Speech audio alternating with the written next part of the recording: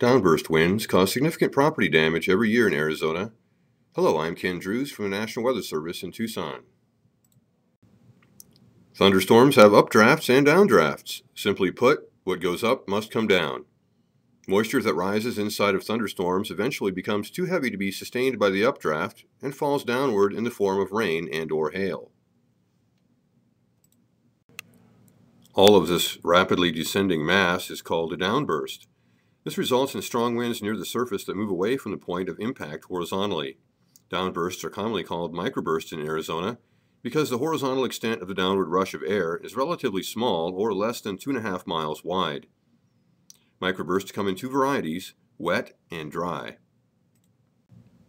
Wet microbursts occur during the monsoon and are visibly impressive. Strong winds are often accompanied by very heavy rain and sometimes hail.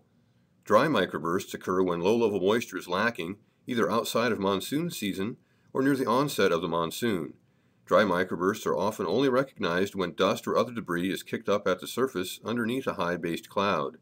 Whether wet or dry, microburst winds can exceed 100 miles an hour at times.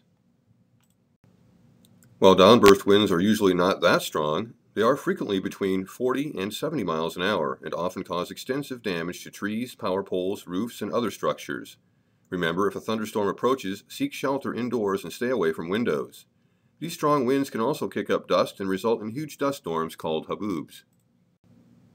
Visit monsoonsafety.org for additional information, including safety around downed power lines, which are often a result of downburst winds. Thanks for your interest and stay safe.